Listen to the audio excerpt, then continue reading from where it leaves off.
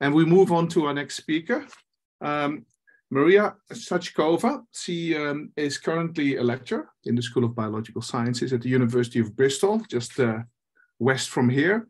And she, for me, is famous for having done uh, some very outstanding work on the venom system of Nematostella vectensis, the model sea anemone. But she's also worked on uh, spider venom toxins and on neuropeptides and the nervous system structure in comb jelly. So um, a, a, broad tableau of interests. Uh, and today she's going to talk about her work in the Nematostella. So uh, Maria, thank you for joining us and the floor is yours. Uh, thank you very much for the nice introduction and inv uh, invitation to this uh, nice seminar. So yes, today I will be talking about um, ecology and evolution of venom uh, in sea anemone nematostella. And even though currently I'm in, uh, in the University of Bristol, uh, this work was done when I was um, a postdoc with Yehu Moran in Israel which is right here in the middle of the globe. And I used to work on the ecology and evolution of uh, the venom in sea anemone nematostella. So that this is a really uh, great venom um, venomous organism because unlike many other organisms, it's a quite well-established lab model. So you can culture uh, these animals in the lab and they will be available throughout the year. And you can do a lot of um, advanced molecular biology um, uh, methods in it. For example, uh, you can make transgenic uh, animals, and this will allow you uh, monitoring uh, the toxin um, production, um, the dynamics of toxin production in different conditions, and you can do it in very great details. So let's talk about the about the ecology of, of the uh, sea anemone nematostella. So as all the cnidarians, it is a venomous uh, organisms and it also goes through the complex life cycle. When uh, Nematostella is adult, uh, it looks like a polyp which uh, uh, sits in the mud in the bottom of these uh, lagoons and it only leaves the tentacles exposed outside. And when it is young, it is represented by a, a very small motile planula or larva called planula and uh, there is a difference um, between the adult and the larva uh, in terms that um, the larva doesn't feed and uh, uh the polyp uh, does feed. So because of uh, the differences in the size and the feeding behaviors, in the lifestyle, the interactions with their natural predators in prey differ throughout life cycle of this animal. Uh, and examples of natural predators are grass shrimps and some uh, fish called mummichog. And uh, natural prey can be uh, insect larvae, which live in the same uh, in the same lagoons. Uh, so um, yes, so here are some examples of Nematostella um, Nematostella hunting behavior. So when you try to feed it with the small uh, grass, sorry, uh, Artemia shrimps, uh, they get stuck to the tentacles and then uh, they get killed by the venom and Nematostella puts them into the mouth. So as you probably know, uh, the venom is um, uh, contained within the stinging cells called nematocysts. And uh, when you touch uh, the animal, they get discharged and they inject the venom. Uh, however, part of nematocysts, there are other kinds of venom-producing cells called um, ectodermal gland cells. So they just secrete a lot of venom components. And both cell types are distributed throughout the body of the adult polyp and the larval in the larva planula. Basically, both uh, life stages are venomous. And also, unlike many other venom organisms, venomous organisms, uh, these animals don't have any uh, defined uh, venom gland. They the stinging cells are distributed, the, the stinging cells and the ectodermal gland cells are distributed throughout the body.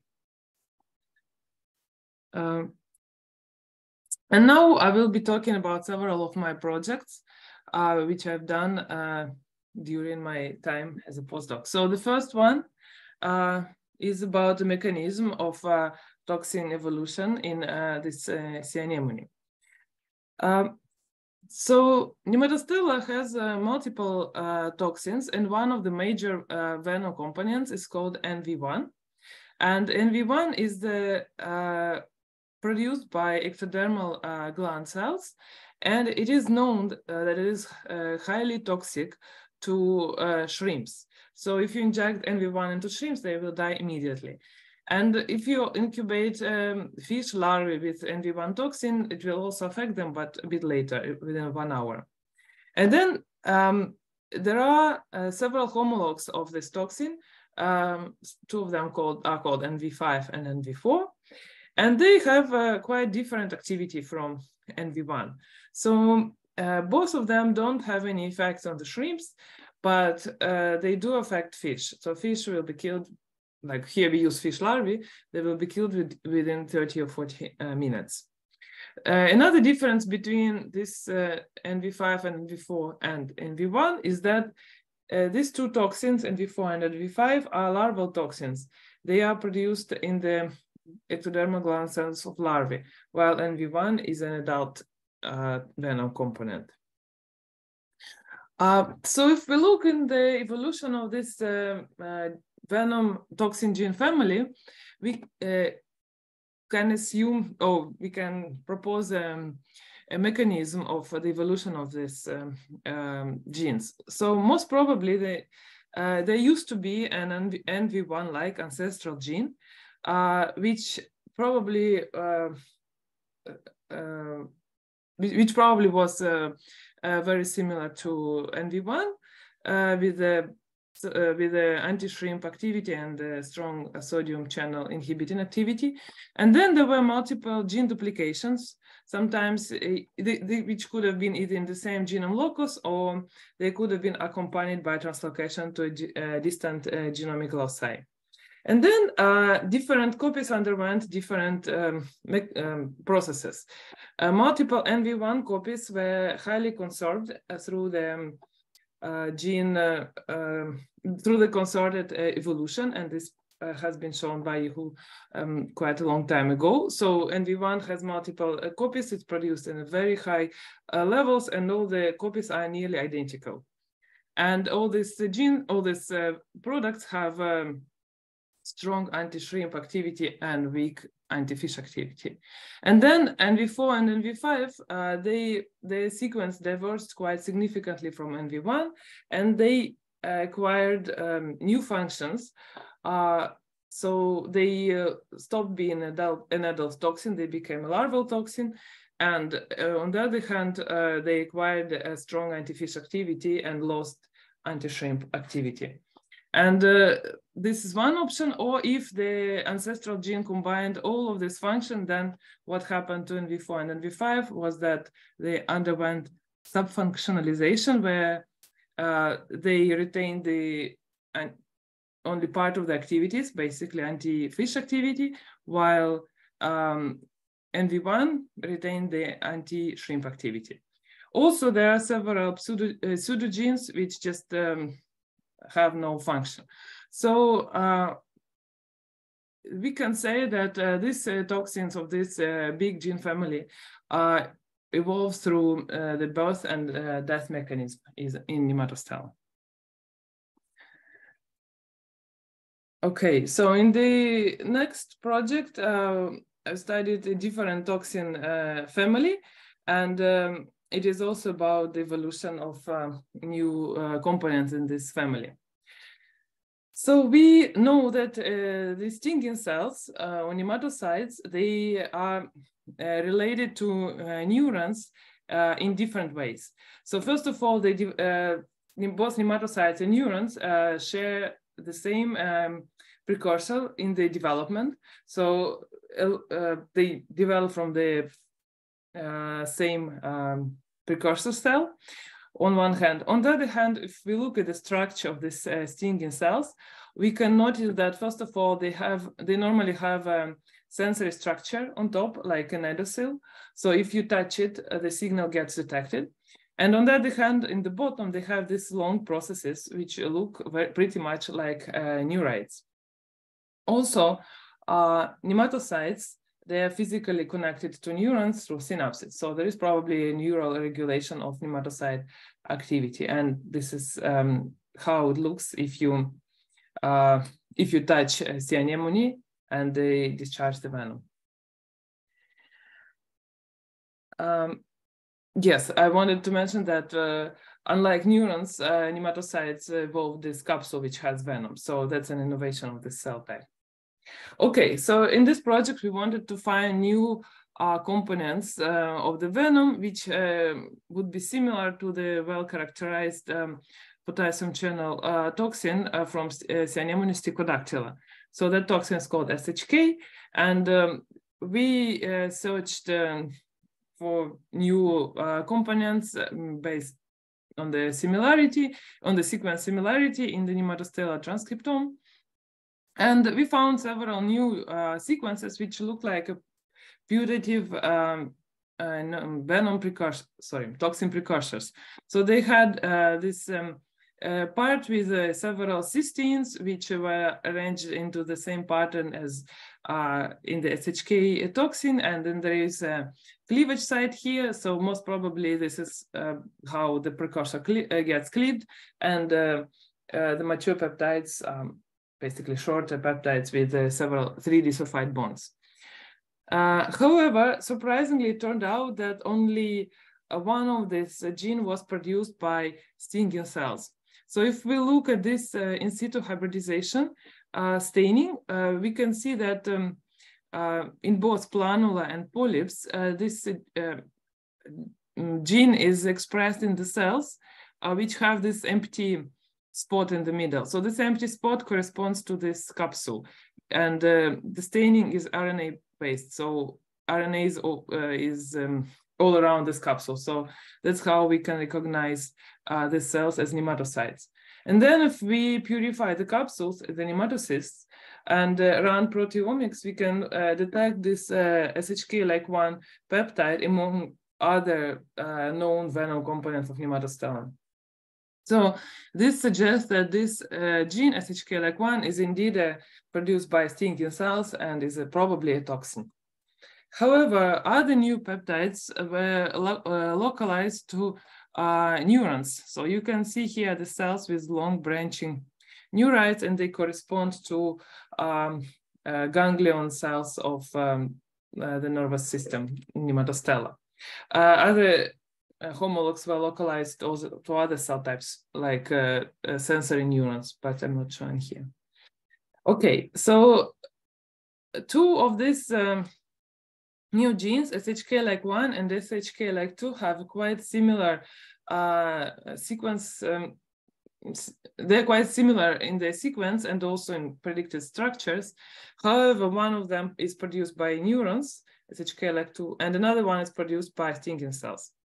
So we wanted to characterize the um, uh, functional activity, and for that uh, uh, I produced recombinant uh, peptides and uh, tested them uh, on the, the, zebrafish larvae and also on the polyps um, itself. So both peptides turned out to be toxic to zebrafish larvae with a small difference. It looks like SHK like one is a bit more potent uh, for against the zebrafish larvae. And if we uh, incubate nematostella polyps with these uh, peptides, surprisingly, both of them provoke contraction in these polyps. So um, maybe this reaction is not that surprising for SHK-like2 because it is produced by neurons and probably it has some internal regulatory function. So if, it probably acts as a neuropeptide. However, um, SHK-like1 is produced by the nematocyte, so it's supposed to be venomous uh, venom component, um, but it still retains this function, this ability to affect the nematostellar body itself. So if we take a look at the phylogeny of uh, uh, these uh, genes in um, we can see that uh, last common ancestor of um, um, of all the sea anemones probably had a gene, uh, SHK like uh, 2 gene, which was probably neuropeptide produced by neurons. And uh, SHK-like1 is detected only in nematostella. So this uh, SHK-like1 production by nematocytes is a nematostella specific um, feature.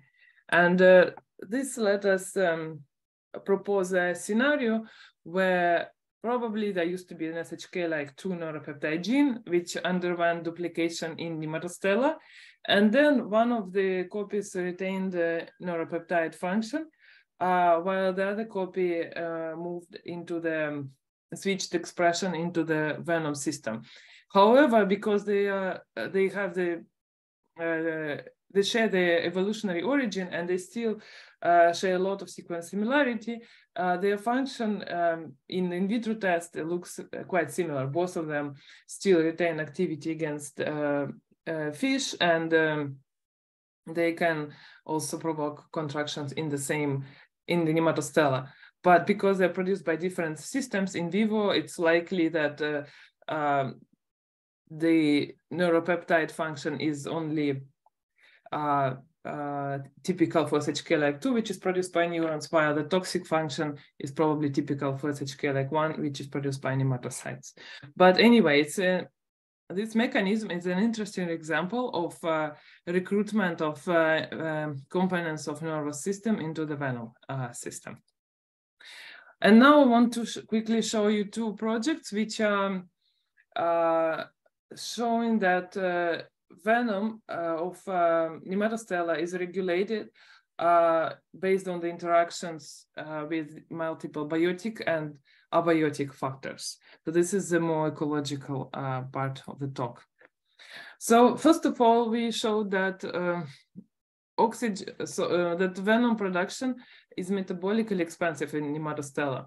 So if we discharge, if we treat nematostella and make it discharge uh, its venom, uh, then, and after that we measure the consumption of uh, oxygen, we can see that uh, oxygen consumption increases after the discharge. Uh, so it means that uh, nematostella consumes more oxygen and its metabolic rate increases. So to replenish the venom, it needs to invest a lot of energy. And um, using transcriptomic, uh, we also show, sorry, it was encounter measurements. We also showed that after the discharge, the uh, toxin production uh, increases. So indeed, once you discharge all the venom components, they have to be uh, remade um, and uh, that um, costs a lot of energy for nematostella.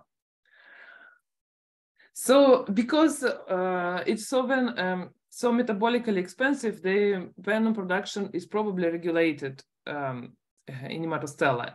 So we checked how the venom, uh, uh, we checked the dynamics of venom uh, production throughout the different life stages. And uh, as you can see here, some toxic toxins are highly enriched in the larvae, uh, some are highly enriched in polyps, and some are even enriched in the very early developmental stages like eggs. So here is example for three of them. You can see that this toxin, for example, is absent in eggs, and then in larvae, it starts being produced, and then it retains the same level throughout the life. On the other hand, there are larval or larval or egg-specific toxins which are highly expressed in the uh, um, beginning of the life cycle, and then in the polyps, uh, the expression uh, drops, and then peaks again in the females, which produce uh, eggs. So this is um, uh, an example showing that an example of a transgenic animal where the toxin was labeled with fluorescent protein, and we can see that it is expressed um, starting from the larva and then uh, through metamorphosis and um, it is also present in the polyp.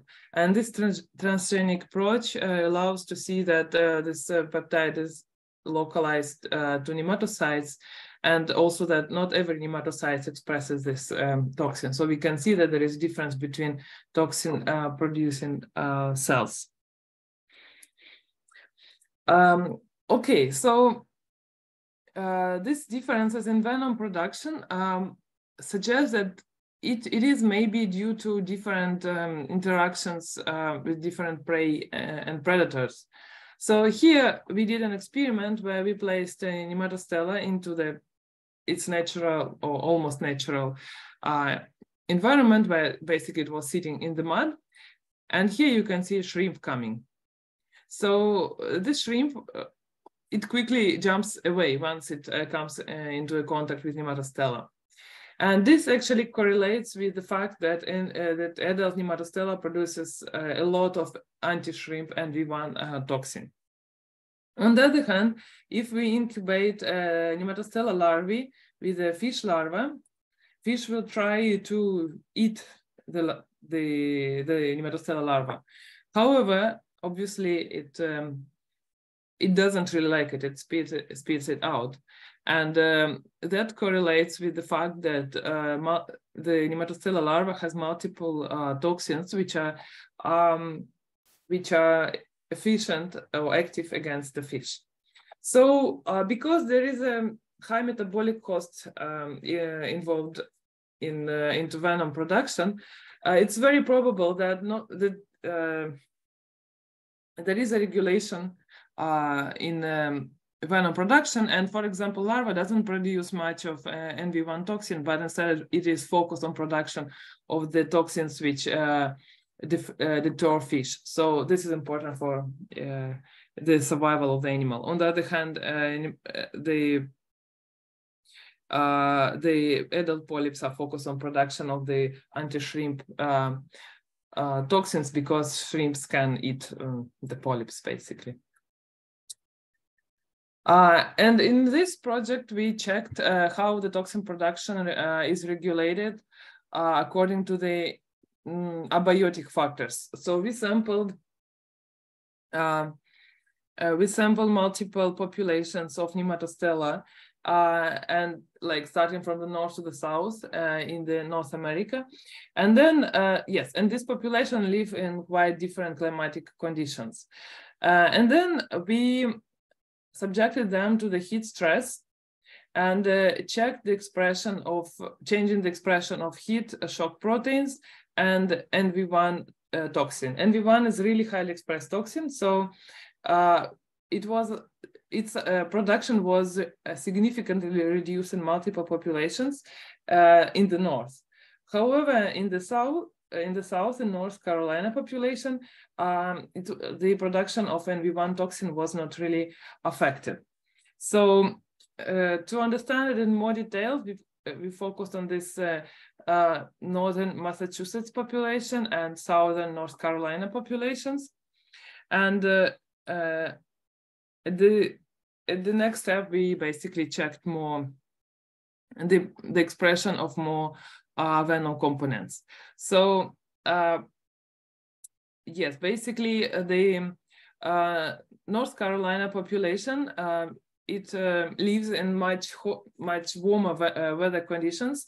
So this is a experimentally measured temperature uh, in the water during the one year during 2016, and this is the heat shock that we used. So we can see that there are many days uh, in the south where the temperature naturally reaches this uh, 36 degrees, while in the north, there are way less uh, days when the temperature uh, reaches 36 degrees. So uh, it seems that um, southern population is adapted to this uh, hot weather. And because of that, uh, when we subjected to the heat stress, the toxin produ production in the south doesn't really change, while uh, in the north, it reduces a lot. And in the nature, the stresses don't come uh, one by one. So uh, normally the heat stress would be combined also by increasing the salinity and by high UV light um, exposure. So we also checked out this combined stress um, conditions and we saw that uh, um, there were a lot of effects on uh, gene expression, but importantly, NV1 toxin uh, gene was the most downregulated gene in the northern uh, Massachusetts population. And this trend was also detected at the level of um, uh, protein. Uh, so we, we did mass spectrometry and we saw that in uh, Massachusetts, the production of NV1 is less after the stress compared to the North Carolina population.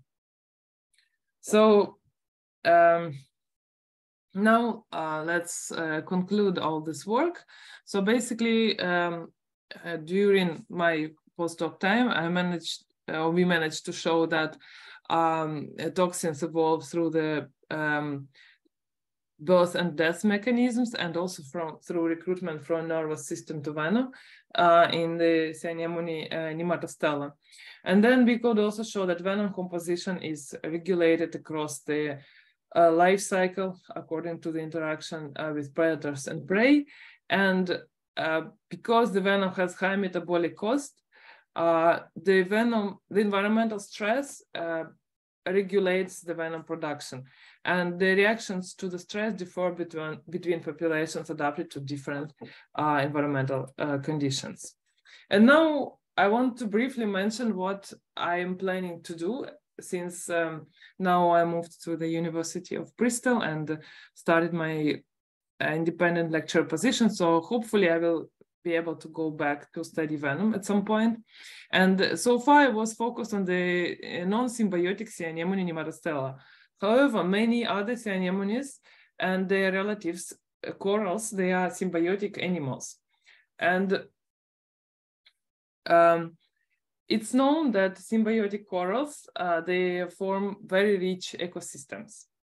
Uh, like coral reefs. However, when you stress corals, they bleach and basically they lose their uh, symbionts. And this is a big stress for this animal because symbionts provide um, uh, provide uh, sugars um, to the animal, to the coral so if you if uh, the animal if the coral spends too long time without the symbionts eventually it dies uh, however it's also known that both sea and uh, corals they uh, can prey uh, and uh, they prey on this for example small invertebrates and for that um, they use venom. And it's also known that um, when a coral is bleached the importance of heterotrophic carbon increases relatively to uh, the symbiotic uh, state um, of this coral. So uh, these uh, facts um, uh, suggest that feeding uh, on on on feeding and preying uh, might be a key factor uh, allowing corals to survive bleaching. And venom is uh, basically key component of the pred uh, predation uh, behavior in these uh, animals. However, even though um, it's known that uh, corals have uh, nematocytes and uh, some toxins have been isolated. It's completely unknown how the venom is involved in um, the, how the, the, role of the venom is in bleaching is completely understudied. So I'm thinking of studying venom as an evolutionary adaptation to overcome uh, short bleaching stress in corals. And um, for that, I will compare uh, bleached and symbiotic animals and uh, do will do it through different populations living in different um, environmental conditions and also across different life stages using um, molecular uh, methods such as transcriptomics, transgenics, and also uh, uh, toxicity tests on the native prey. And at this point, I would like to finish and thank all the um, uh, collaborators and former colleagues who were involved in these projects. And uh, many thanks for listening to me. So, yes, I'm done. Thank you, Maria.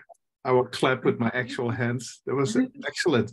Uh, Thanks. I was all, already aware of a, a big chunk of uh, your previous work, but uh, your, your your new research sounds really exciting.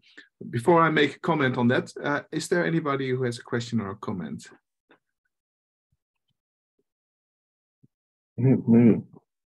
Yes, Gregor. Hi. Uh, hi. Hi, hi, Maria. Hi. A very, very nice um, lecture.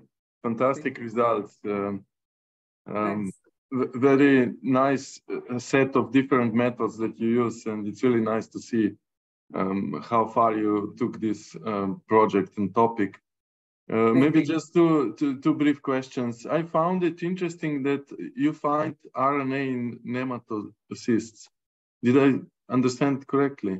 Uh, um, not exactly. So uh, nematocyst sits, sits within the cell, nematocyte. So RNA is on is outside of the nematocyst. So RNA um, is the cytoplasm of nematocyte. So that's okay. why when you look at the staining, you mm-hmm. see like uh, an empty part, which is nematocyst. It doesn't have RNA, and RNA is all outside. Right? Mm-hmm. mm-hmm. So in your in your research, you were studying uh, these smaller peptidic uh, toxins detect on ion channels, but in Nematostella there are also pore-forming toxins. Uh, yes. No, is I, it true? Um, I think there are.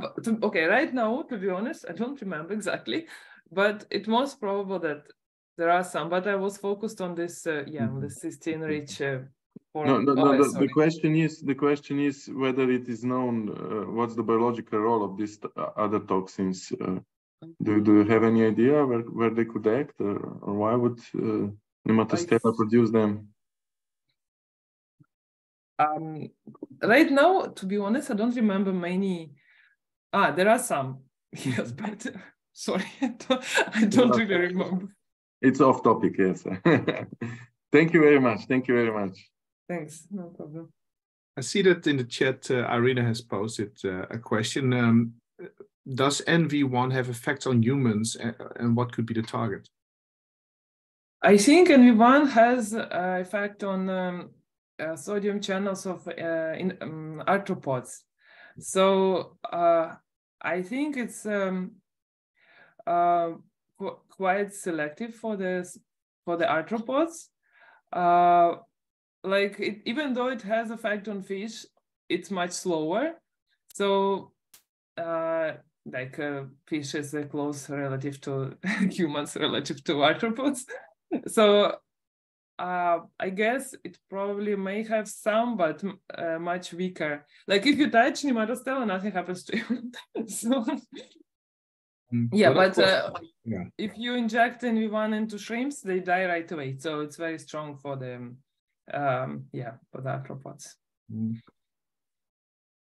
Any other comments or questions? I'm I'm just very excited about your new project as well because you know it touches on an incredibly neglected question, at least in in the venomics community, which is uh, venom plasticity like whether with a given genotype you can create depending on environmental triggers mm-hmm. different venom compositions or expression levels so that's why you you know the work on uh, uh, environmental stressors that you did uh, with Yehu was already cool. But what you're going to do now with the bleaching, I think that's an excellent and original thing. I look forward to it. I mean, it just I, am traveling to Madrid tomorrow to get some mm-hmm. sea urchin tissue samples sequenced because I'm sort of interested in a similar question, at least conceptually similar.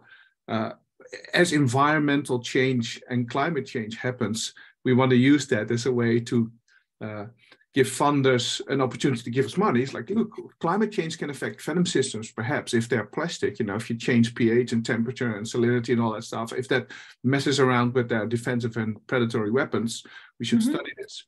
So I've done an experiment in Scotland where we uh, basically exposed sea urchins mm-hmm.